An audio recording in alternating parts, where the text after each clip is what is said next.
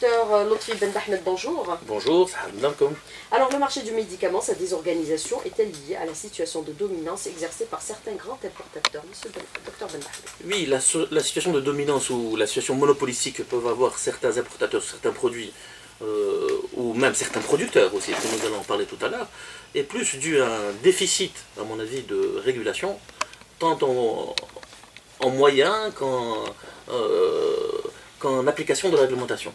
Je m'explique, effectivement, euh, ces dernières années, nous revenons à chaque fois à la charge pour poser ces problématiques euh, de disponibilité euh, et parfois de, qualité, parce que justement, même la réglementation existante que nous avions n'était pas appliquée. les trois mois de stock stratégique n'existent pas. on, était tombé dans une politique de rationnement qui se faisait par le ministère de la Santé, par des, comment dire, des, personnes qui n'en avaient ni l'habilitation, ni les moyens techniques. Nous parlions, par exemple, on, a mis en place une agence du médicament. Elle est dotée aujourd'hui de 25 personnes. Celle de Turquie, il y a 2000 personnes. Celle du Nigeria, 2000 personnes. Euh, dans certains pays voisins, il y a plus de 400 personnes pour la direction de la pharmacie. Donc nous sommes dans une, dans une, dans une situation où le déficit de régulation et la non-application des textes ont, engendré une situation où effectivement, après, euh, avec les problématiques de disponibilité ou de mauvaise régulation, on tombé sur des situations monopolistiques avec toute la spéculation que connaît, euh, peut connaître le marché. Monsieur le faire par rapport justement à la mauvaise euh, ou déficit de régulation qui a toujours prévalu et dénoncé par les professionnels du secteur, est-ce que c'est prémédité docteur Ben Bahmed. Déjà, l'agence du médicament devait être installée à partir de 2008. Elle était créée en Paru, mais jamais d'agence de médicament. Oui, d'abord, euh, sur l'agence du médicament, il faut savoir que, effectivement, la première loi en 2008, après on a attendu des années pour le décret, après il y a une nouvelle loi sanitaire, là il y a un nouveau décret. Il y a un nouveau décret euh, qui aurait été entériné, qui devrait être publié euh, d'ici la fin du mois. Mais il ne s'agit pas simplement de mettre en place des textes, il faut les mettre en application. On parlait de, disponibilité et de régulation du marché tout à l'heure. Euh, euh, une des problématiques essentielles de rupture, c'est que les dispositions qui concernent les trois mois de stock, qui sont des dispositions réglementaires qui sont opposables, ne sont pas appliquées dans notre pays. Comment peut-on demain dire qu'on va encore développer, euh, et créer de nouvelles structures de régulation si on n'applique pas les textes réglementaires? Il faut d'abord appliquer les textes réglementaires. Et c'est euh, euh, cette régulation des produits qui se faisait, je répète encore, par le rationnement ou l'interdiction d'importation ou euh, des positions monopolistiques étaient mises en place effectivement par certains importateurs ou surtout certains producteurs aussi. On a interdit l'importation alors que ces producteurs ne répondaient pas à la demande du marché. On crée cette situation. on, Inch'Allah, on va de plus en plus vers un état de droit. très sincèrement, dans un état de droit, les malades peuvent se retourner contre les autorités lorsque leurs parents ou lorsque eux-mêmes n'ont plus accès aux médicaments. Lorsqu'il y, a, dans notre pays, il y a des gens qui sont morts parce qu'ils n'avaient pas accès à la chimiothérapie. Il y a des personnes qui ont vu leur maladie compliquée parce qu'ils n'avaient pas accédé à leur traitement.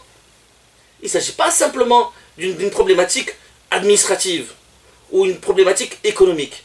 Il s'agit d'une problématique de santé publique. Mais cette dérégulation est-elle à l'origine de tous ces dysfonctionnements ou il y a d'autres enjeux également, puisque certains disent aujourd'hui qu'il y a certains producteurs et importateurs qui sont surprotégés Docteur Ben Bahmet.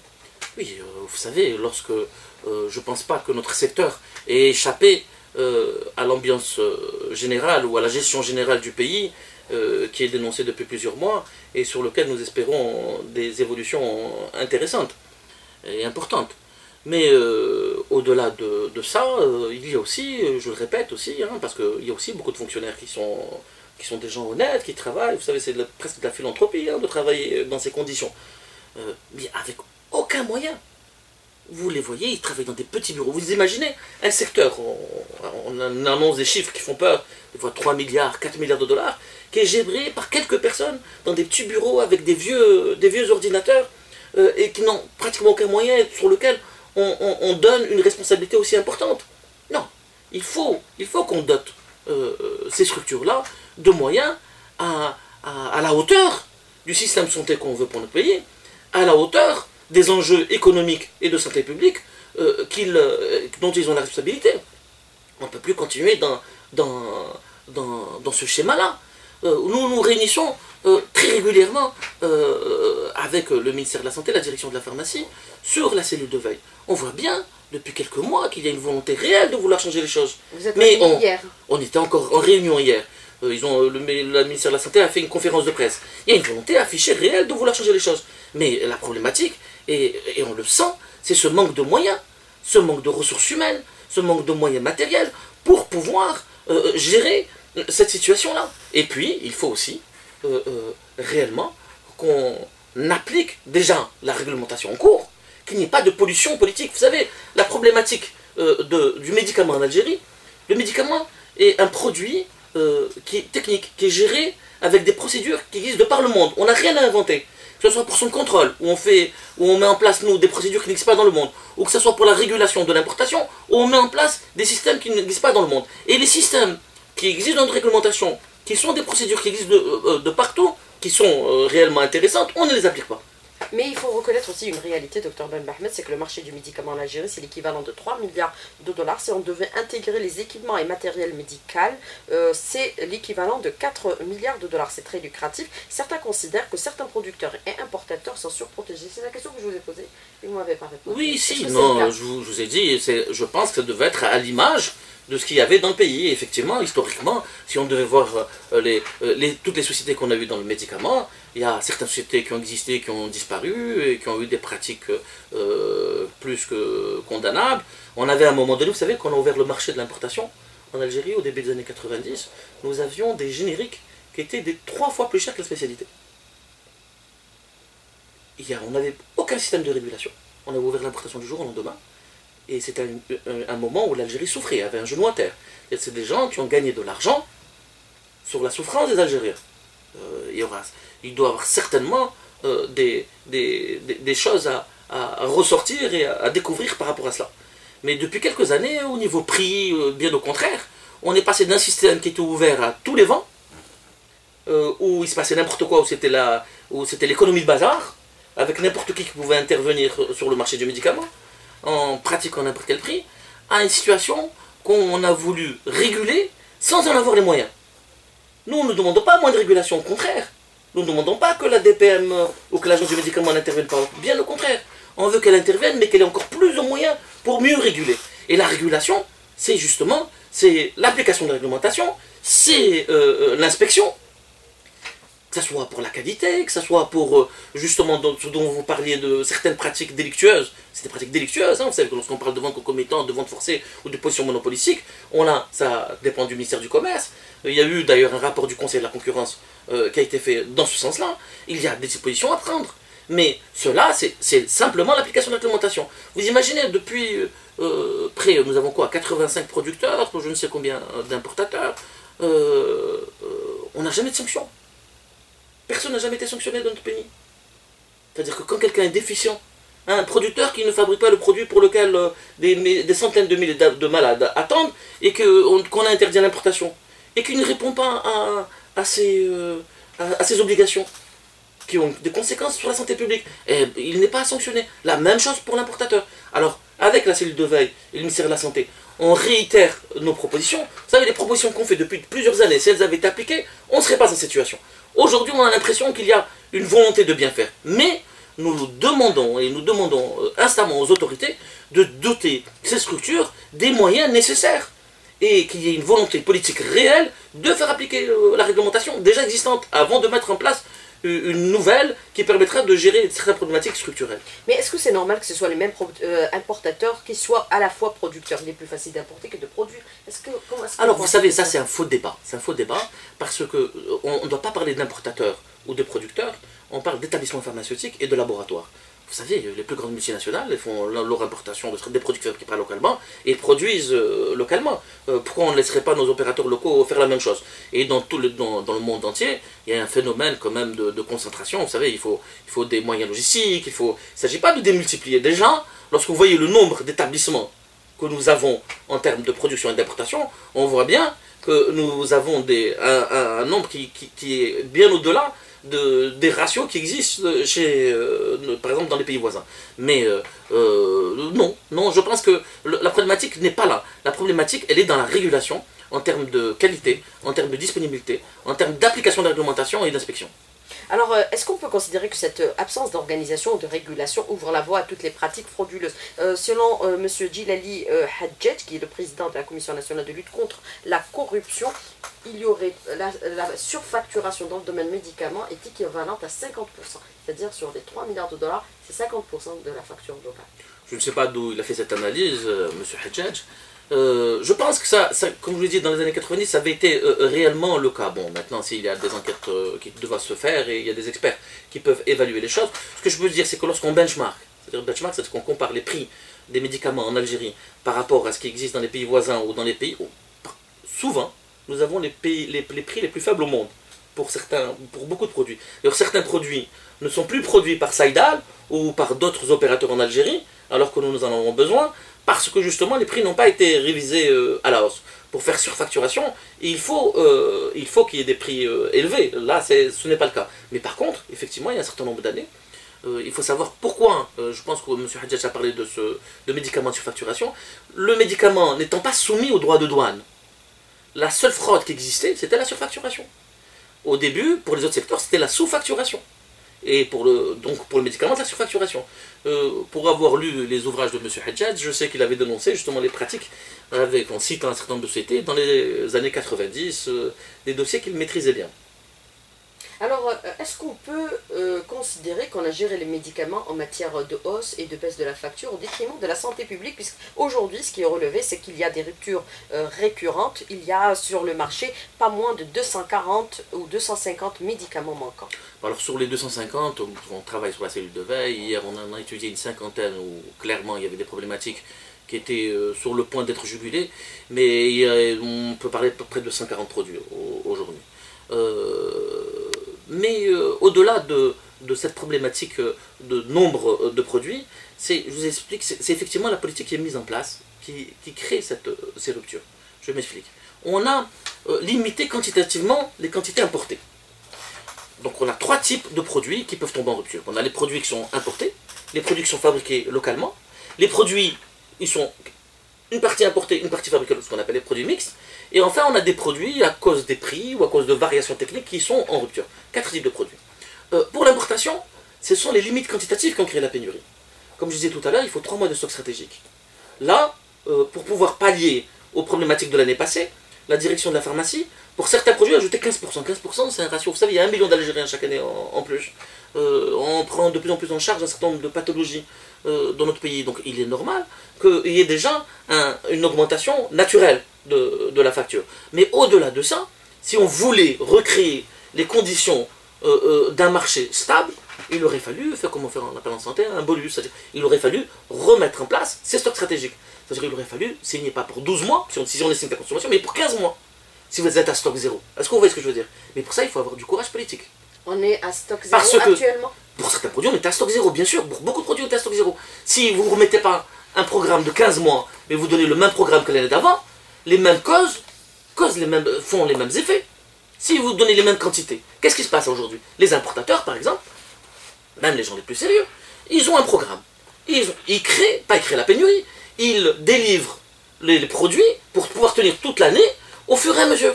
Donc, tout le monde est rationné, les grossistes, les pharmaciens d'officine et même les malades, tout le monde se met à stocker et on se retrouve dans des pénuries chroniques euh, qui ont un impact réel sur la santé publique.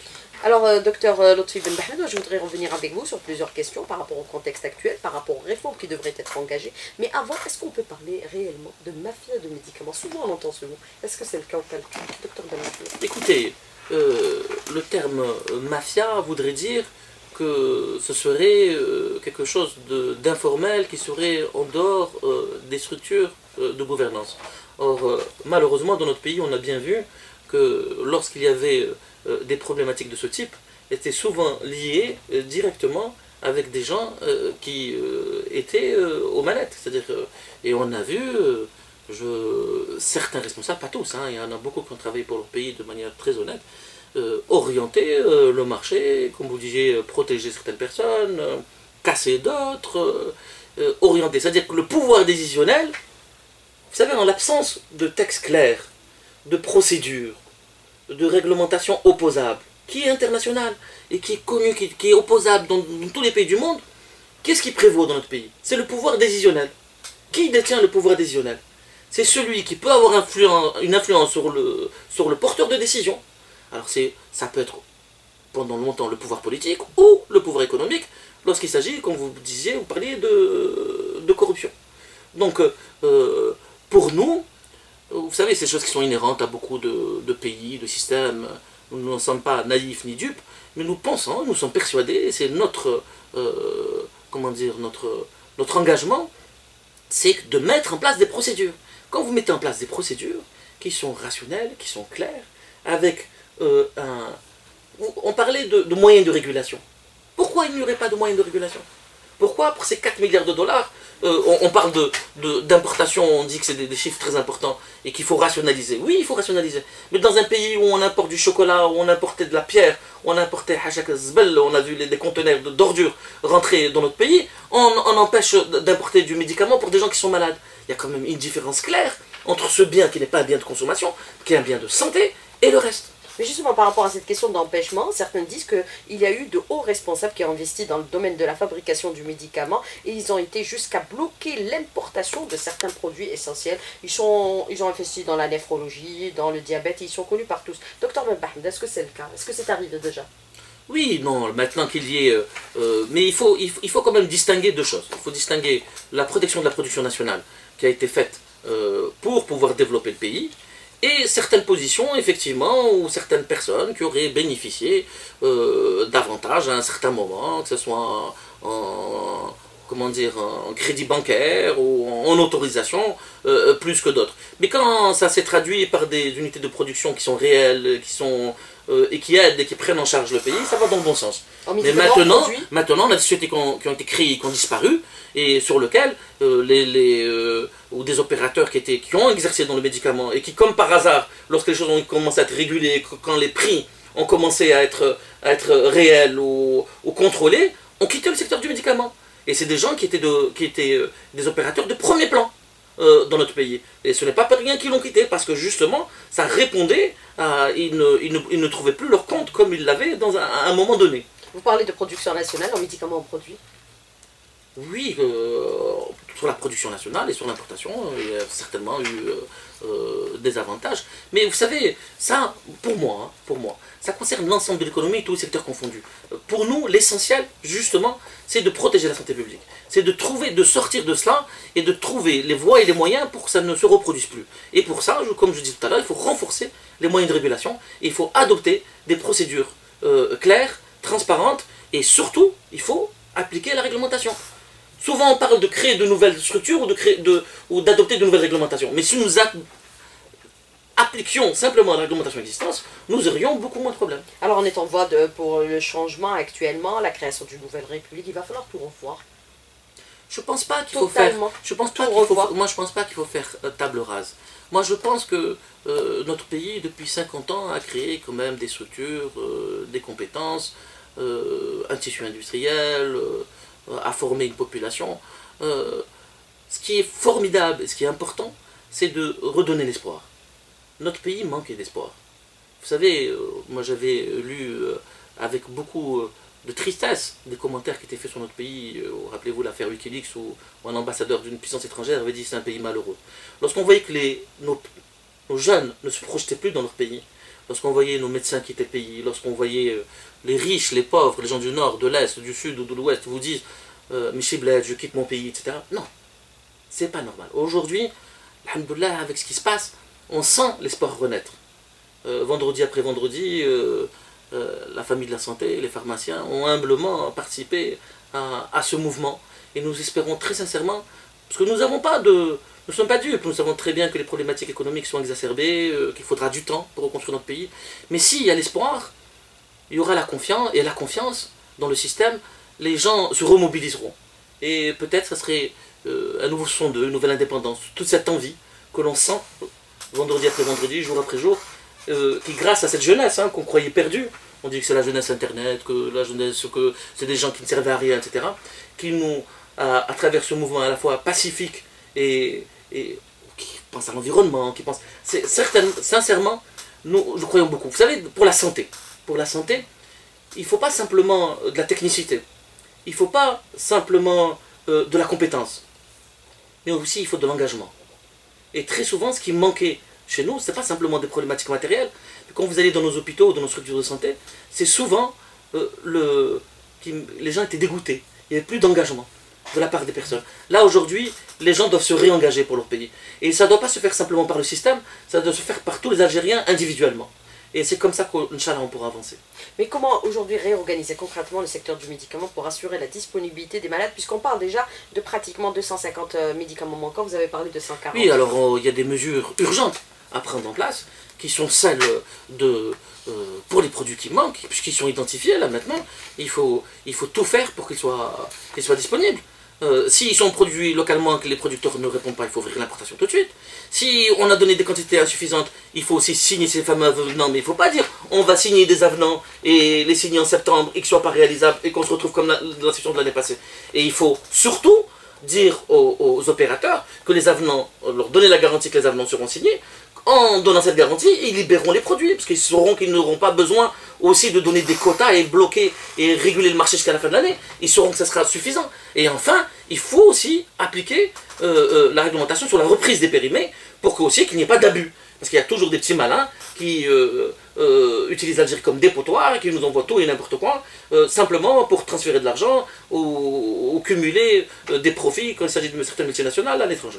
Mais continuer à gérer l'importation du médicament administrativement, puisque ce qui est relevé, c'est que nous sommes le seul pays autorisé, à, soumis à des autorisations d'importation. Oui, alors ça c'est aussi une contradiction flagrante. Vous savez, comme, quand, année, pays, hein. quand année, après, après année, on signe des programmes d'importation alors que nous avons des décisions d'enregistrement.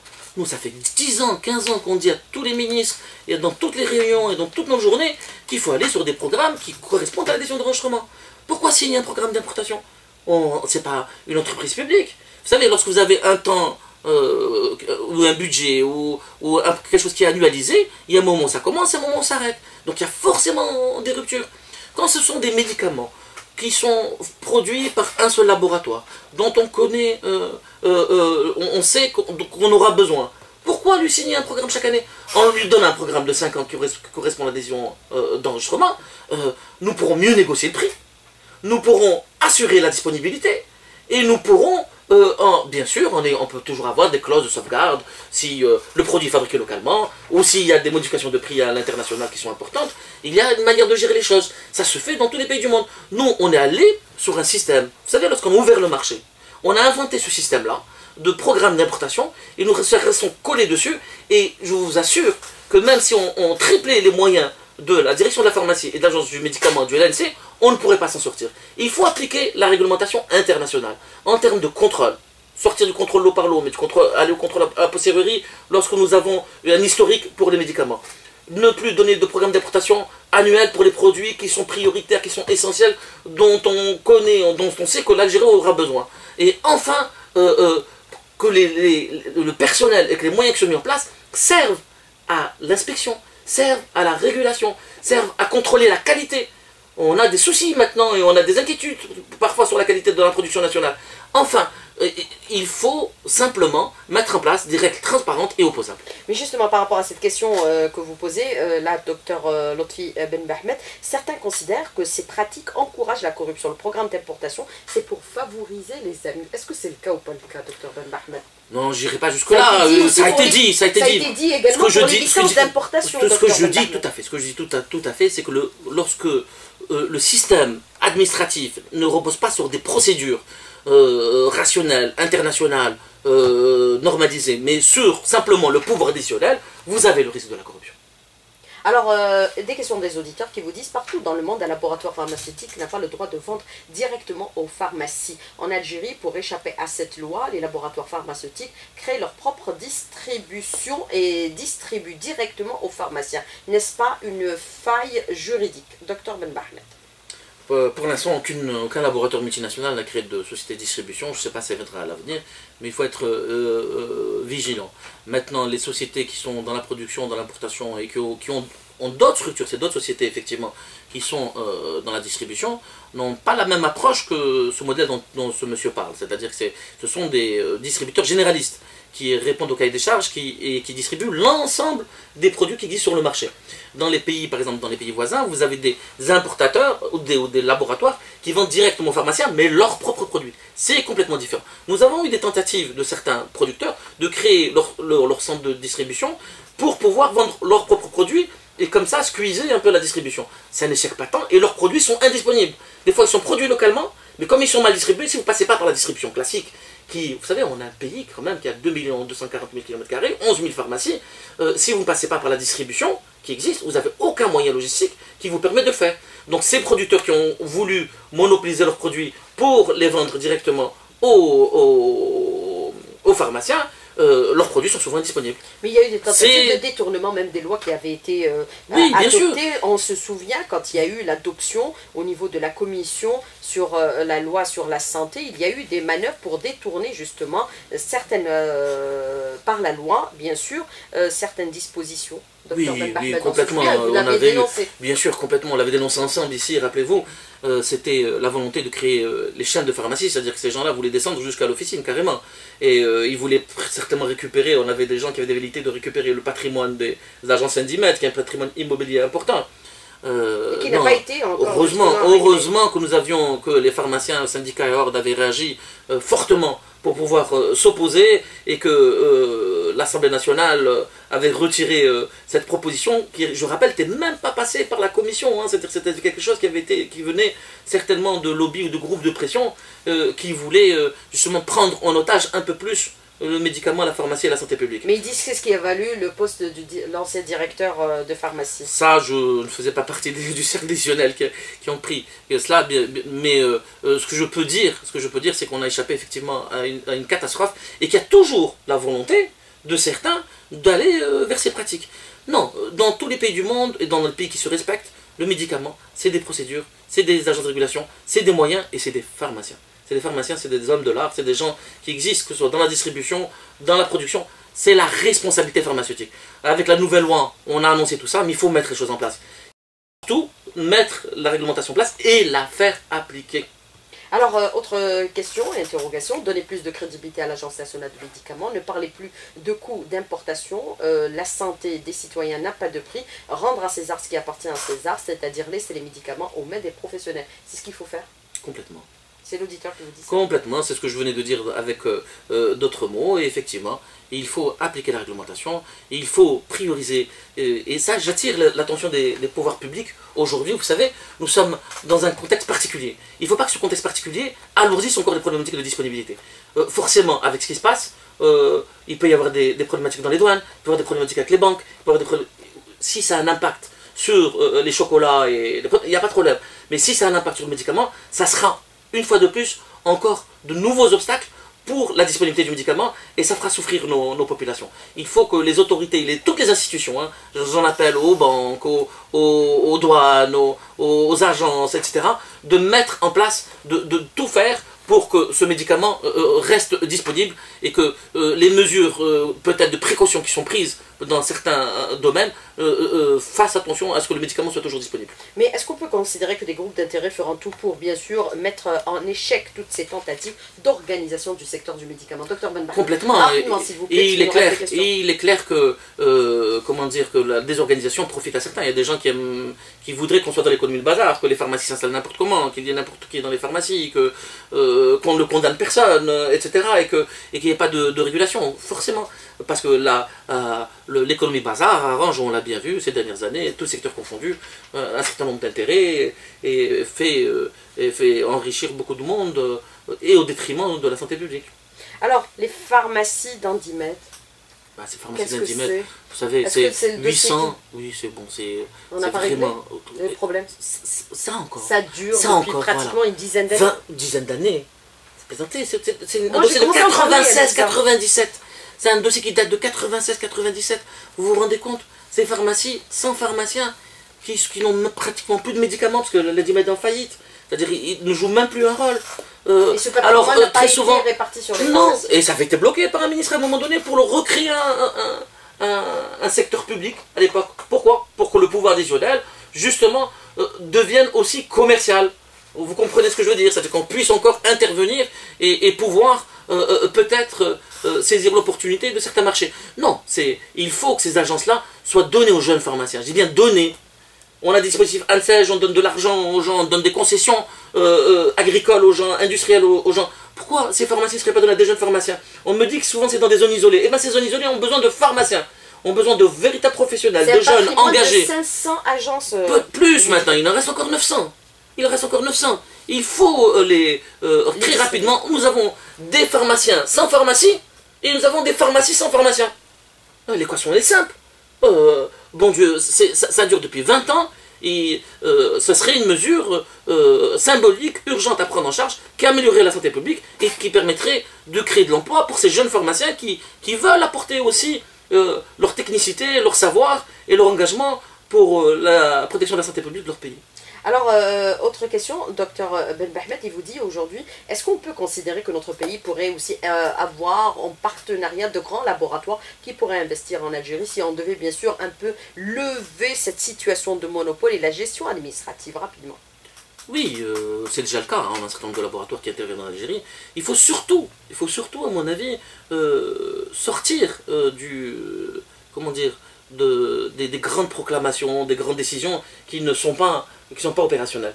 Il faut travailler, travailler avec les experts, avoir une véritable analyse technique sur euh, ces... Euh, et il faut créer aussi les conditions pour que ces laboratoires viennent.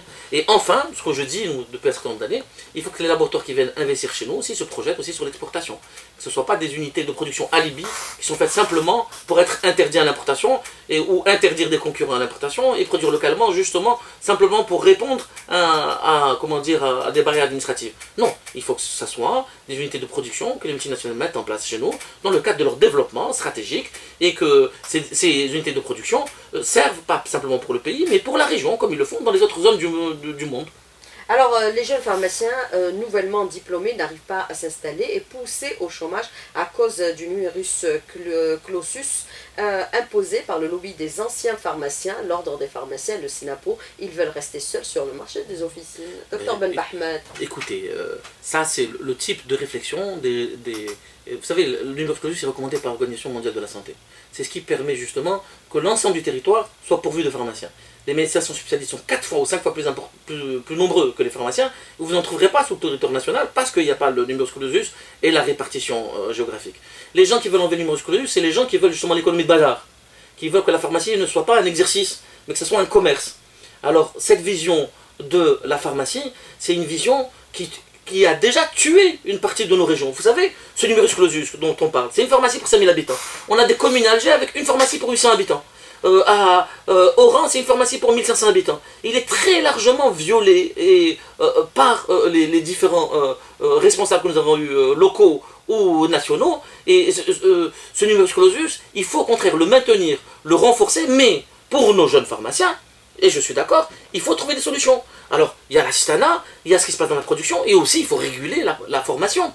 Est-ce que dans notre pays, ça c'est une vraie question, je pense que vous devrez le poser à vos invités pour l'enseignement supérieur, on va continuer à former des gens sans adéquation avec le développement de notre économie Il faut orienter la formation sur les besoins que nous avons. On avait 4 facs de pharmacie déjà qui étaient très largement suffisantes, on en a ouvert 7 autres. C'est-à-dire qu'on a 11 facs de pharmacie, et ces pharmacies ont créé des promotions tellement importantes qu'ils n'ont même pas un bon enseignement. C'est-à-dire les, les doyens demandent 100 ou 150 personnes, on en voit 500 ou 600. Non, il faut une régulation. Euh, la pharmacie, c'est pas l'économie de bazar. La pharmacie, c'est un exercice avec une réglementation qui doit être appliquée. Et justement, pour assurer la disponibilité et avoir l'ensemble des produits, il faut que le numéro scolaire continue à être appliqué et que les pharmaciens soient réellement des hommes de l'art, des professionnels de santé et non des commerçants. Alors, dernière question, et très rapidement sur celle-ci, euh, docteur Ben Bahmed, par contre, euh, connaissance de cause, les pharmaciens d'aujourd'hui ne, font pas, euh, ne font que vendre des produits nuls sur le plan efficacité. Je vous assure que les malades souffrent autant de ces génériques, ne font qu'empirer leur maladie ou leur mal. On sait tous comment les agréments de production sont donnés dans, nos, dans nos jours. Alors ça, je peux vous dire que le actuellement... mauvais, produit localement? Non, on ne peut pas dire ça. On peut pas dire ça. Mais il, y a, mais il y a des problématiques qui se posent. Il ne faut pas jeter le bébé avec l'eau du bain. Il y a 85 unités de production, il y a des gens qui travaillent très sérieusement, et, mais il y en a d'autres certainement sur lesquels il y a des problématiques à voir. Quand je disais que, par exemple, il faut que la régulation aille vers l'inspection. Aujourd'hui, on sait, on sait effectivement qu'il y a des scandales ou des problématiques qui vont en termes de qualité pour certains ingénieurs qui se posent. Et nous espérons que des mesures conservatoires seront prises très rapidement. Alors, contre certains producteurs. Oui, nous, nous, euh, euh, nous, et puis même je veux dire, les structures hein, de, de, notre pays, je veux dire, de contrôle, euh, ont déjà interpellé, ont déjà des dossiers qui sont en train d'étudier. Je sais que des décisions devraient être prises, ce qu'on nous a expliqué. mais vous dites qu'il y a absence d'inspection. Vous l'avez dit au début de cette émission. Il y a contrôle, c'est-à-dire qu'il y a des produits qui sont contrôlés à pastorierie, et on a vu qu'il y avait des produits où, effectivement où, le, où, la, où la composition ne répondait pas au dossier qui était déposé. Mais, ce que je dis et ce que je répète, il ne faut pas jeter le bébé avec l'eau du bain. Ce n'est pas parce qu'il y a certains tricheurs qu'il faut condamner très fortement qu'il faut remettre en cause tout le système. Nous avons fait d'énormes efforts pour développer une production nationale. Il ne faut pas aussi jouer le rôle et le jeu de l'importation. Parce que si demain nous, euh, nous continuons à, tenir ce type de langage, on, jouera le jeu de l'importation, on redeviendra dépendant, comme nous l'étions sur beaucoup de molécules, euh, de, pays étrangers. Docteur Lotfi Ben merci d'avoir répondu à nos questions et d'avoir été en direct avec nous ce matin dans le studio. Merci beaucoup. merci à vous. À bientôt.